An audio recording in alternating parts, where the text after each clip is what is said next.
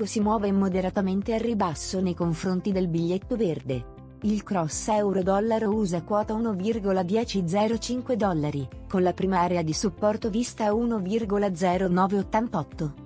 Si rafforza la fiducia dell'economia di Eurolandia nel mese di novembre, con l'indice risultato pari a 101,3 punti.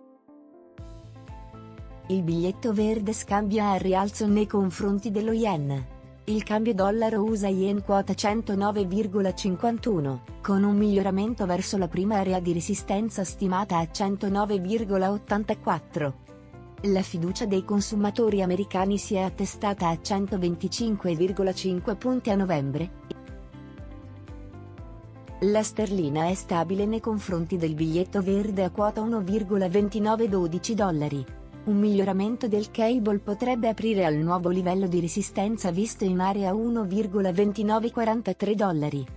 Gli investitori sembrano aver ben accolto il possibile scenario di una Brexit concordata con l'Europa nei tempi previsti. L'euro consolida il rialzo nei confronti dello yen.